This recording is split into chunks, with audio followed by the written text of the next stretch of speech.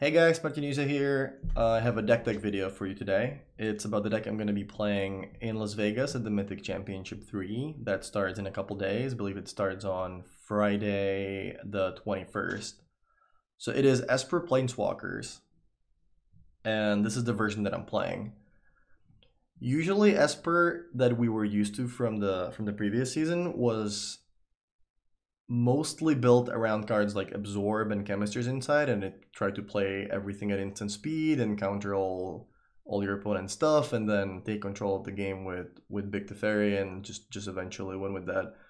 Most of that changed because Teferi Time Raveler. That means that counter spells are not very good right now. It means that you can play your opponents can play instants in your turn basically, so counter spells are, are, are effectively useless and a lot of decks play Teferi right now. So the deck turned into more of a mid-range deck, more of a tap out kind of strategy. One of the one of the versions plays Hero of Precinct One. It plays Hero of, Hero of Precinct One. It plays cards like sometimes plays Elite Guard Mage. It plays a, a bunch of Basilica Bell-Haunts.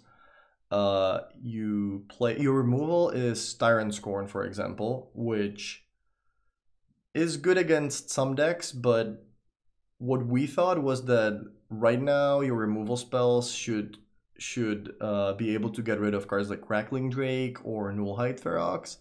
And that's why we put Cast down in, in the deck instead.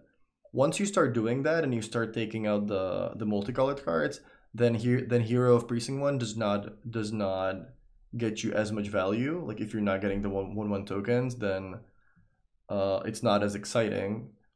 And once we started started doing that, we figured out that Hero also gets boarded out in a lot of matchups. It's really good in, in, in the mirror because you would you would rather have Hero than all the Wrath effects. You would rather be proactive. But it gets boarded out a lot, and like once we started casting, uh, changing cards like cast down and stuff like that, we figured out that we, we might as well just just play a full control deck.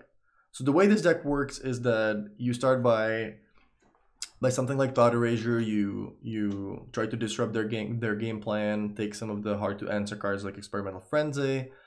Uh, then you try to get some value with with your planeswalkers, like Narset finds you finds you Wrath or, or removal or whatever you need. The Teferi makes sure that you don't you don't fall too far behind on the board, while also making sure that you know your opponent can counter your spells or do stuff at your at your own turn. Oath of Kaya is a good removal spell in this deck that both gains you life. You can kill something like Goblin Chainwhirler, get back some life, and then when they're attacking your planeswalkers, which they usually need to kill, then you're gaining life back as well. It also combos really well with with Teferi Time Raveler because you, you get to bounce it back to your hand, draw a card, replay it again, gain some life again, and do this all over. All of this means that you're just trying to stay alive and then eventually cast uh, Big Command the Dreadhorde steal all of the stuff that that you killed with your removal spells and you know win the game with planeswalkers. The other the other way this deck usually wins is with Teferi hero of dominaria and in combination with the Elderspell. If your opponent has a bunch of planeswalkers or even if you do have some that you don't mind uh, getting rid of you just play Teferi, use Elderspell, kill some Planeswalkers, put a bunch of counters on the Teferi, make him 8 or more loyalty, and activate the ultimate ability that gets you an emblem which says every time you draw a card you get to exile anything. The way the deck works is that one of the most important cards is search for Azcanta like search has always been a good card but people used to play mortify a lot. Now if you look at the decks people people started playing uh, oath of kaya instead and more of the spot removal instead. So now search is basically unkillable. There's not a lot of ways to actually get rid of it. Obviously, the the red aggressive decks or or you know white weenie decks, they don't really have anything besides maybe Conclave Tribunal, which you already have a lot of other targets for. You can get rid of it in the mirror by bouncing it to your hand with with little, little Teferi and then discarding it with, with Thought Erasure. That's one of the ways. Or you can use Big Teferi to put it back into your deck. Although it's just three cards deep, so you can eventually find it anyway. The reason why there's so many one-offs, like one Elderspell, one Dovin's Veto, one Despark, one of Carnarium, is that with Narset and with Search for Azcanta, you actually dig pretty deep into your deck and you end up seeing a lot of the cards because the games go long. You end up seeing you know cards from at least half of your deck most of the games. So all the wonder all the one ofs are super important. Of Carnarium is really important against the white weenie decks. It's good against red. It's your most important card against Izzet Phoenix, where the game usually goes super long. They have phoenixes, they keep bringing them back, and you need the the exile effects to get rid of them for good. The one Elderspell is obviously for the mirror matches. Sometimes you kill something like Chandra Fire Artisan, you kill you kill something like Nissa that checks the world. Uh, Dovin's Veto is mostly for the mirror matches or command the Dread Horde decks where you need to be able to cast to, to counter the big command the, Dread Horde, which is probably the most important card in these in these matchups. Despark is just a good is just a good removal spell right now. It gets rid of Experimental Frenzy, Chandra Nissa, Arc Arclight Phoenix, so many different cards. Teferi Hero of Dominaria. It's just it's just an important piece of removal spell to have have access to in your deck. The rest of the decks the rest of the deck is pretty pretty easy. It's just basically a lot of removal spells.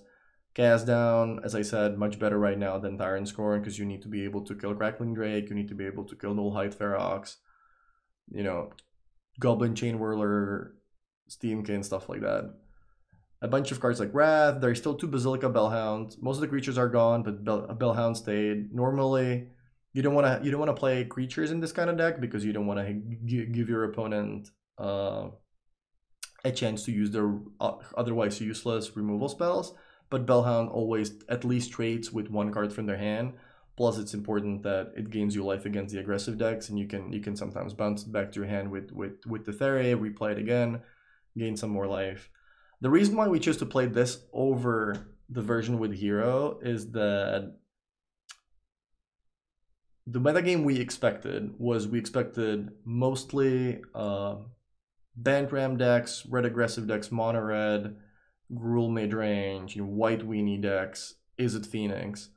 And against all these decks, I would much rather have all this removal. I would much rather have access to Cry of Carnarium, you know, Basilica Bell-Haunt, and rather not have not have the hero this is what the metagame ended up being that you can you can find this on the mtgesports.com website. And it turns out that we were mostly right.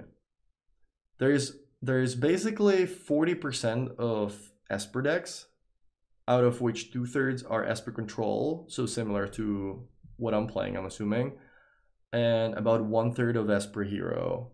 And then if you look at the next five decks it's Izzet Phoenix Bant Ramp white aggro decks red aggro, Gruul mid range. All of these should be good matchups for this deck, so hopefully hopefully we made the right choice, even though we're slightly we're slightly disadvantaged in the mirror because you would much rather have the the heroes and you know be able to apply pressure than than have all the all the wrath in your hand. Uh, sideboarding with this deck is fairly simple. There's there's usually cards that are not good in the matchup. Like imagine you're playing against the the red aggressive decks. Like Elderspell is usually pretty bad because they only they only have like two Chandras. Command the Dread Horde is, is not great because they they apply a lot of pressure on your life total, and you just switch that for you know the cards like Lyra Dawnbringer.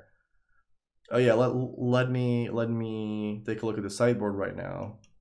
So you have cards like Duress and Elderspell, Dovin's Veto. Like these cards are for the for the control mirror matches where it's it's it's a it's a control battle. You you want to discard you want to discard the cards like the Teferi and Command the Dread Horde from their hand. You wanna you wanna be able to stop them from resolving the the command. And Elderspell obviously gives you gives you like this one big card that no matter how many planeswalkers in play they have, you can just always always clear their board. Uh, of Carnarium again for the for the decks like Izzet Phoenix or White Weenie, even even even Mono Red. Ixalan binding also also mostly against the aggressive decks. It's good against something like Gruul. You know, you can you can permanently get rid of something like uh Gruul Spellbreaker or or Charging Monstrosaur or or Hellkite or something like that. Nightveil Predator is mostly just for the mirror. It's a it's a card that basically can be interacted with outside of Kaya's Wrath.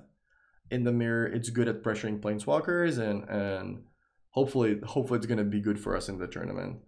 Despark, as I said, important for the for the matchups like Izzet Phoenix to get rid of Arclight Phoenix, get, get rid of Experimental Frenzy, Planeswalkers like Chandra and Nissa, and obviously Lyra great against the red, red aggressive decks as well, against Gruul, you know, Boros Feather, Mono Red, Mono White, all these decks. Yeah, and sideboarding is pretty simple. Uh, Elderspell, Commanded Red Horde, like these kind of cards come out against the red aggressive decks where you don't have time to set up a big command because they press your life total and you re you replace it with cards like you know more removal spell and and cards like Lyra.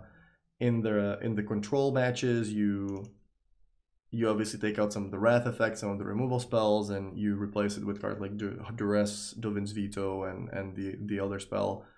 Uh, I can't reveal all my secrets yet because I'm gonna be playing in the tournament, but you guys can check channelfireball.com later in the week if you're looking for a full sideboard guide and everything. More stuff about the deck, you're gonna find it in an article in an article there. So thanks for watching. I'll see you guys. I'll see you guys later.